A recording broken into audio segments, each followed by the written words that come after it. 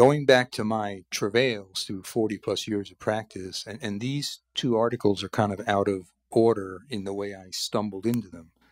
This first paper was published in the fall of 95 in the old defunct ACAM journal, which was actually a pretty good journal, um, where we found a case which clearly was hibernation in peripheral arteries, which had not been described up to that point. I don't think it's been described since then.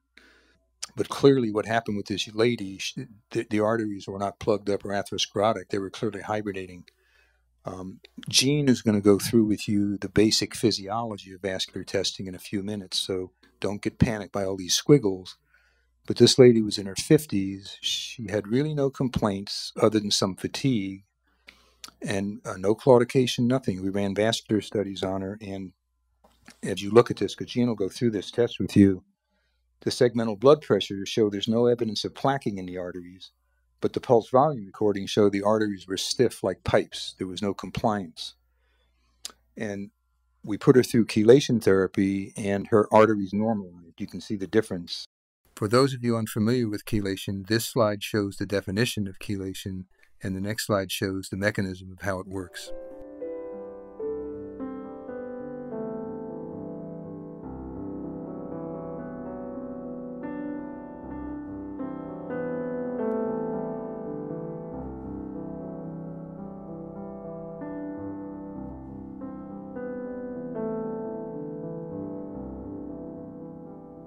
And now back to the slides.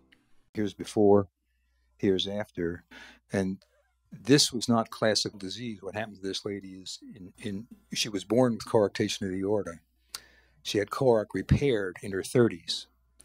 We found her in the 50s and chelated her, and we revivified those arteries. Uh, and that kind of went into my unconscious with how could that possibly work? Although we had the documentation it worked, how could that actually work if you go back to the conventional thinking of atherosclerosis as cholesterol and stuff like that? Um, this was her uh, PPG, her post uh, photoplethysmograph, which is the test we do to measure it, sometimes called a post occlusive reactive hyperemia. That's the result of the test. And this is the most accurate test in research now to pick up endothelial dysfunction, which is synonymous with, with small vessel disease. This was her test before we did the chelation, and this was her test after we did the chelation.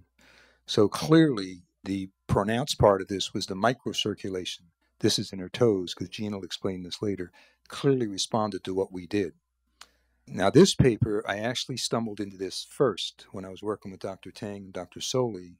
They enticed me over to their offices uh, by allowing me to use a, a high advanced nuclear scanner called the First Pass Baird Atomic 77 system, which was like giving an 18 year old a Ferrari because I was fooling around in the hospital at that time with nuclear cardiology before the field existed.